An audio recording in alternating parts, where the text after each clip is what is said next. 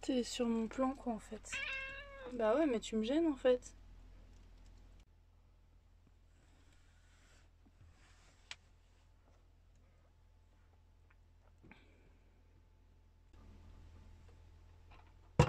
Allez. Aujourd'hui, je me motive. On fait un vrai café. Pas de café soluble.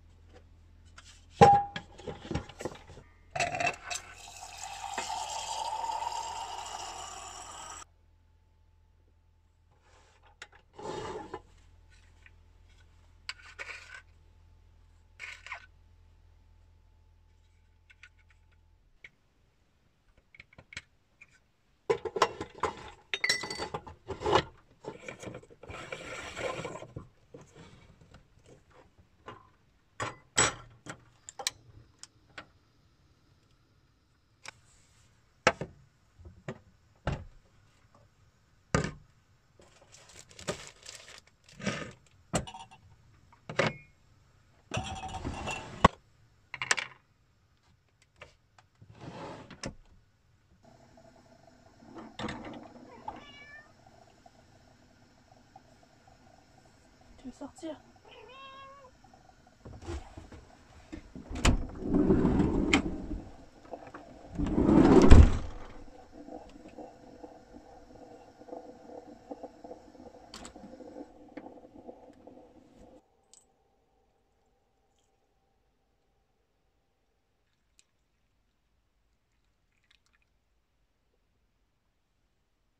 Il fait frais, il fait super agréable. Hier, il a plu quasiment toute la journée.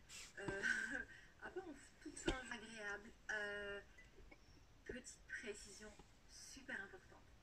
Hier, je suis allée récupérer Eleanor à la danse parce qu'elle avait quelque chose de très très très spécial.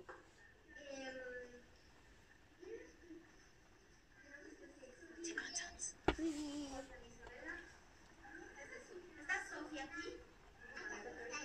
Je suis dégoûtée.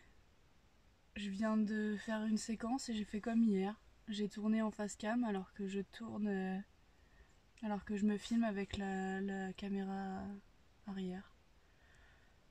Enfin, face cam en frontal, quoi. Bref. Du coup, je vous racontais les rêves que j'ai fait cette nuit. Parce que cette nuit, j'ai fait des rêves. euh, que des rêves un peu de rôdage, de rôdeur autour de, autour de chez moi. Parce que hier, en fait, il y a quelqu'un qui, enfin hier, avant-hier, je sais plus quand, j'ai lu un commentaire de quelqu'un qui projetait toutes ses peurs sur moi. T'as pas peur toute seule dans ton camion, mais attends, t'es toute seule le jour et la nuit, mais t'as de quoi te défendre, euh, comment tu fais si on t'attaque, euh, si on arrive à ouvrir tes portières, euh, que des trucs comme ça. Alors que d'habitude, non, j'ai pas peur, non. Et donc j'ai fait un premier rêve où j'étais dans la maison de quand j'étais petite. Il y avait mes deux frères. Je crois qu'il y avait personne d'autre que nous.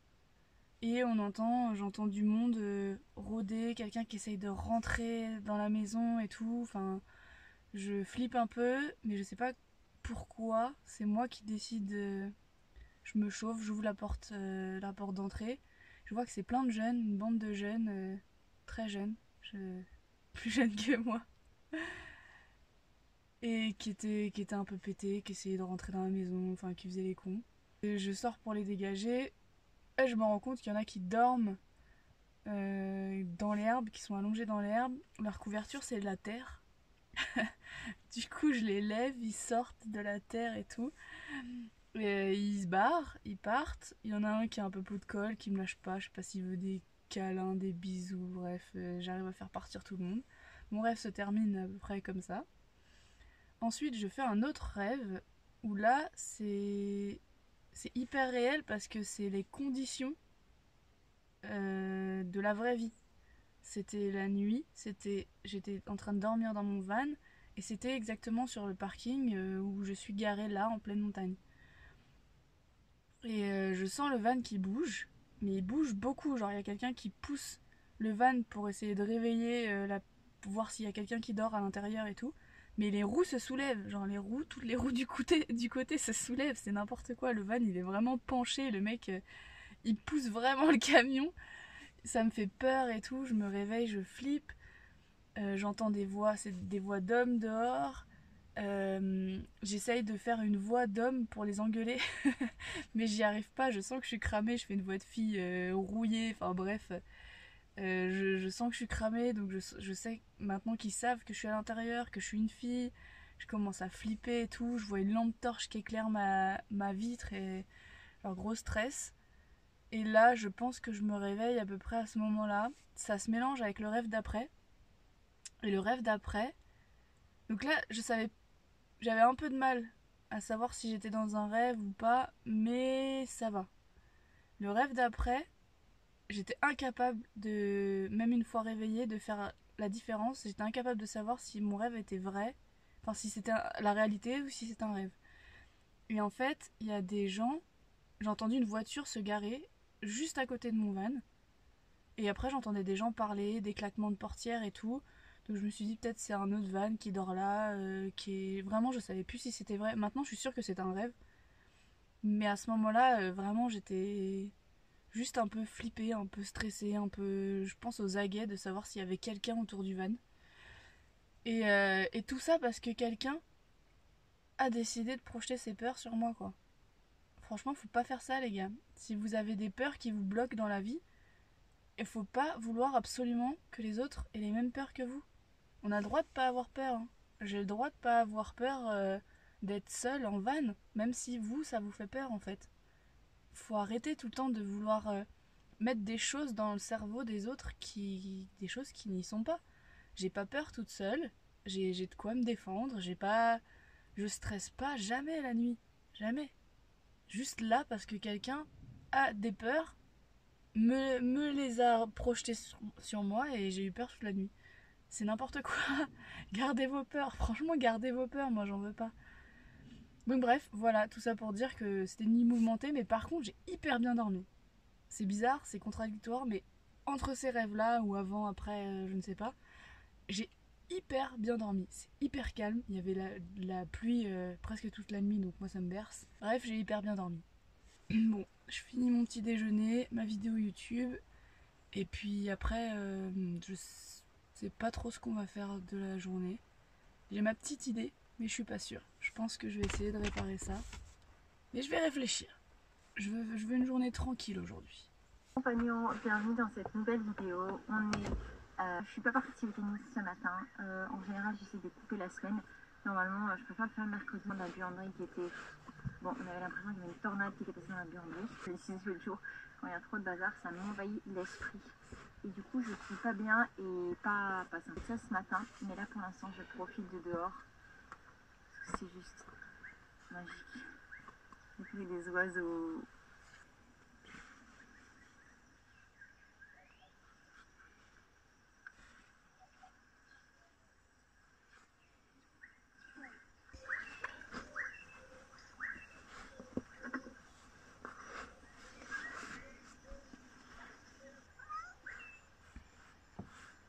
La rosée dessus, elle est absolument magnifique. J'ai toutes mes petites brujitas qui sont en train de sortir ici, les blairds là. Et là, j'ai des nouveaux lys, d'autres, qui sont en train de sortir aussi. Antithermie. Pourquoi la mise au point se fait pas C'est vraiment mauvais ce truc. Voilà, c'est mucho mejor comme ça. Et en fait, il y a ça au bout. Et je pense que. Attends mon capou, parce que tu m'as un petit peu, chérie là. Voilà, merci. Je pense que ça, c'est une plante. Ce serait logique. On risque d'avoir un petit problème parce que ça, c'est mes panières de vêtements. Voilà la place qui me reste. Et ça, c'est tous les vêtements que je dois ranger. C'est impossible. C'est impossible, ça rentrera jamais. Mais euh, ouais, franchement. euh, Oui, mais pourquoi pas il doit avoir des dents. Ah, non. En voilà une première ou une deuxième? Toi, tu vas aller autre Moi je viens de faire euh, aujourd'hui. Euh, là il est 9h30. J'ai commencé à 7h15 je crois.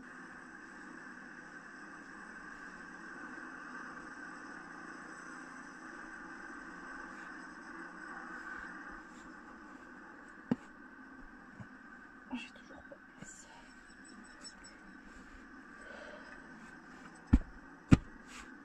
Qu'est-ce qu'il y a Le cheval. Voilà, le plus naturellement du monde. Ah non, mon loulou.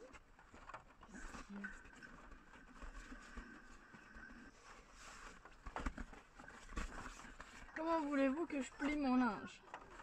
Comment voulez-vous que je plie mon ça. linge?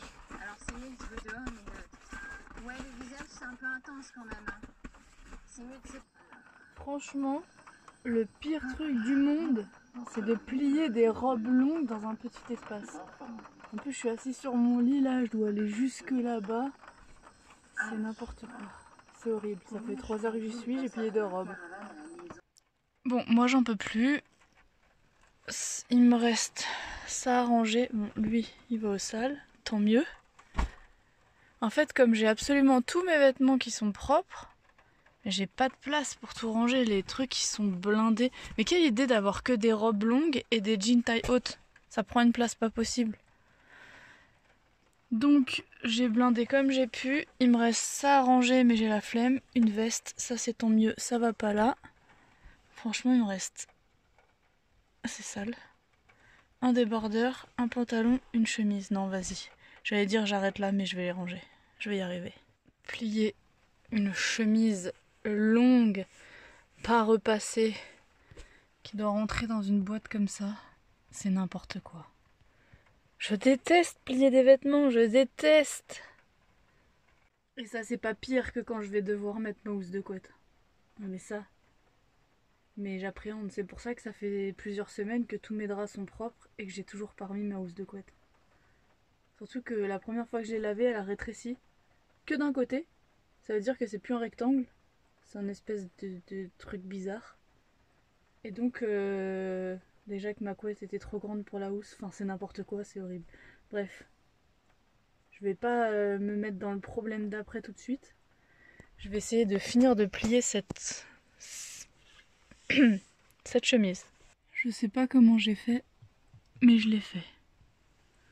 C'est même plus compressé là, je ne sais pas, je n'ai pas les termes.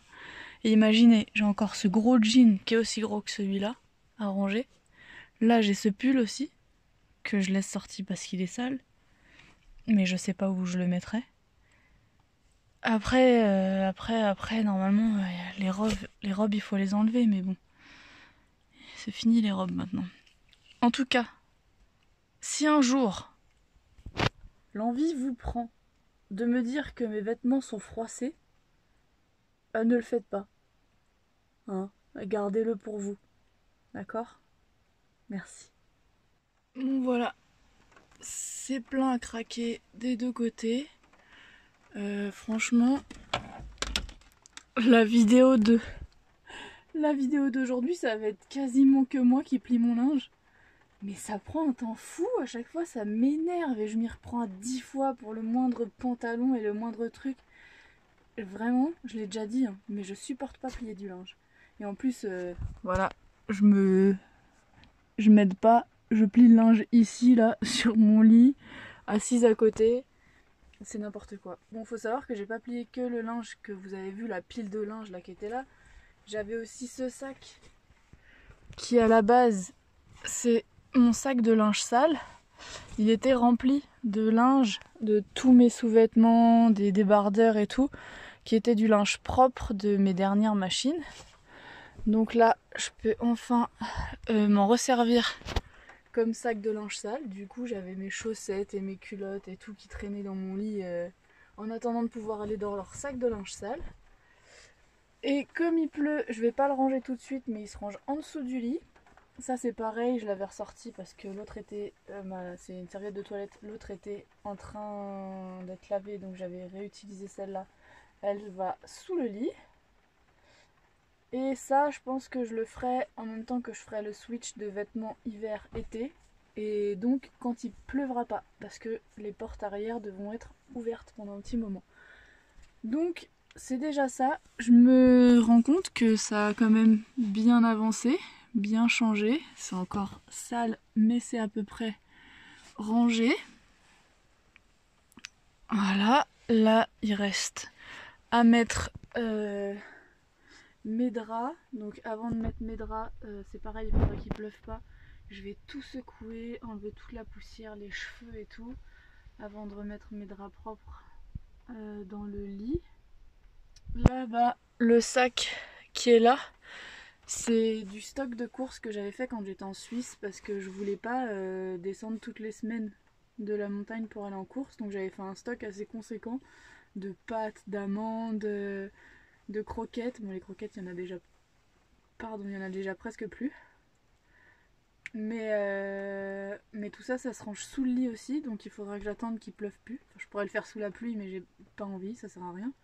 Donc j'attends qu'il ne pleuve plus. Et j'ai toujours en tête de, faire mon lanterneau aujourd'hui, mais avec tout ça, il est 14h40. Donc j'ai mis 2h30 à plier mon linge, c'est très grave. 14h40, donc je, vais manger et on verra si ça arrête de pleuvoir, j'irai chercher euh, mes outils et je ferai ça. C'est un bon truc à faire quand il pleut ça. Je le fais à l'intérieur euh, tranquillement. Voilà je suis en train de répondre aux commentaires sur les dernières vidéos YouTube. Et je viens de lire un commentaire qui me parle de mon chauffe-eau. Et je viens de me rendre compte qu'avec tout ça, j'ai pas allumé mon chauffe-eau ce matin. Et il faut entre une heure. Oula, je tombe dans le trou.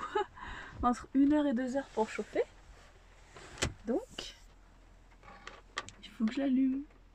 Sinon, ça va être douche froide. Et là, ça descend. Ça descend beaucoup trop d'ailleurs. Mais comme il pleut, et ben ça va pas beaucoup recharger. Donc je vais mettre un réveil pour le laisser chauffer une heure, euh, une heure et demie. Ce sera une douche tiède. En même temps, c'est toujours une douche tiède dans le van. Là, elle sera encore plus froide que tiède. Mais c'est un ballon d'eau chaude de 6 litres. hein. Donc c'est toujours beaucoup de froid et un peu de chaud, histoire de dire que je me gèle pas les ovaires. Et, et voilà. Bon, il pleut toujours. J'ai toujours pas sorti mes outils. Je me demande si je peux pas passer la main par là pour sortir. Ah non, je vais attendre que ça se calme. C'est dommage, je serais bien allé me promener aussi. On ira peut-être se promener sous la pluie. On verra. Bon bah vous savez quoi? En fait je viens de réteindre euh, le chauffe-eau. Je viens de réteindre le chauffe-eau que je venais d'allumer parce que euh, mes lumières se sont éteintes. Je n'ai pas assez de batterie. Voilà. Ça c'est pas du tout rechargé en fait.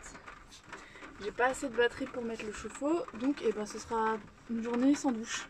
Voilà. Je vais me laver les fesses vite fait. Et ce sera une journée, ça aurait été une journée pyjama. Je vais même pas m'habiller, je vais pas m'emmerder. Je suis en train de me faire cuire des noodles. Je viens de me rendre compte qu'il était 16h et je mange seulement. Il pleut toujours. Donc je disais, il pleut toujours. Je sais pas si. si je vais sortir me promener ou pas.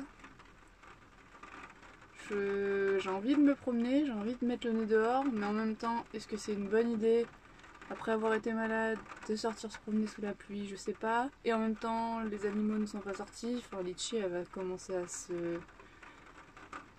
à s'embêter un peu, à s'ennuyer. Donc, euh, je sais pas. Je ne sais pas, je ne sais pas. Il n'est pas prévu d'arrêter de pleuvoir avant demain, je ne sais quand.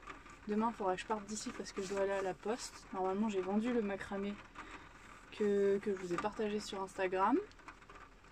Donc il faut que j'aille à la poste pour connaître les frais de port, donc il faudra que je bouge d'ici. Et J'espère que ça va recharger la batterie, je sais pas. Là, j'avoue que pourtant, avec le soleil qu'il y a eu et le fait que j'ai roulé un petit peu, bah, je m'attendais à avoir plus de batterie que ça. Je comprends pas trop.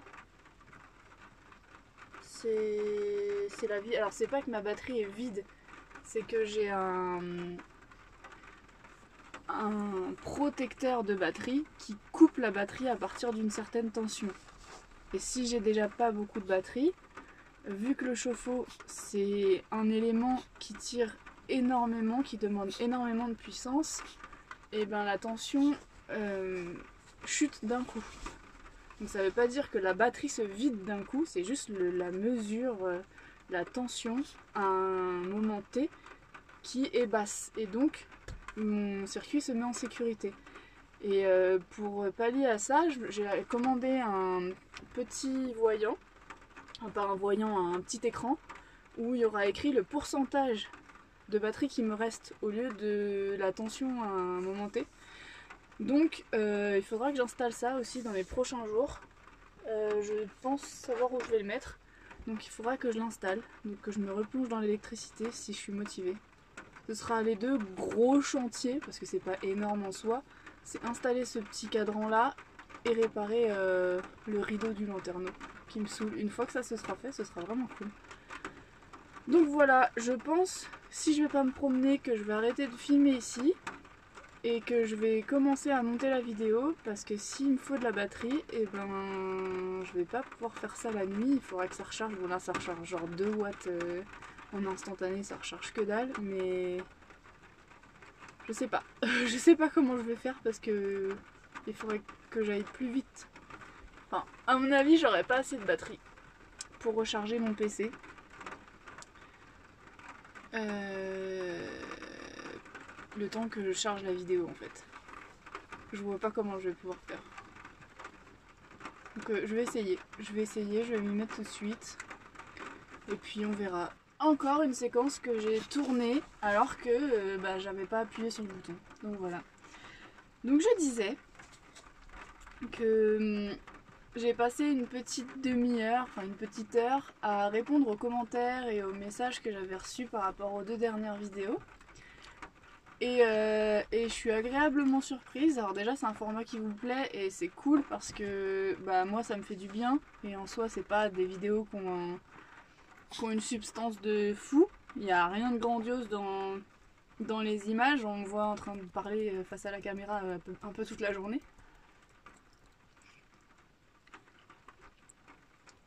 Mais hum, pour certains, c'est vous me dites que ça vous fait du bien.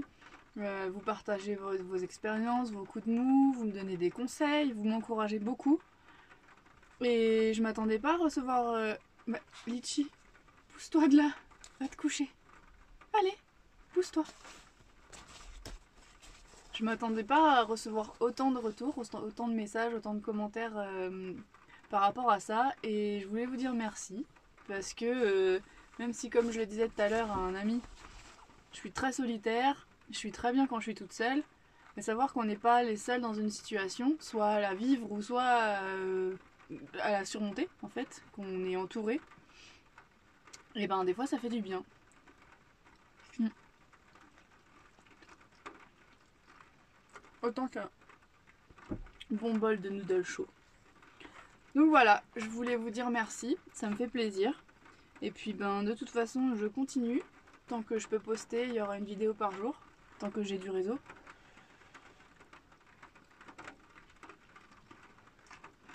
Celles-là sont vraiment trop trop bonnes. Bref, donc tant que je peux, tous les jours il y aura une vidéo. Euh, je sais pas si ce sera une semaine ou si ce sera pendant un mois, on verra. Et puis ben si je vais pas me promener et que je reprends pas la caméra, et bien je vous dis à demain et je vous fais des bisous. Marie voyage dans avec Iris et puis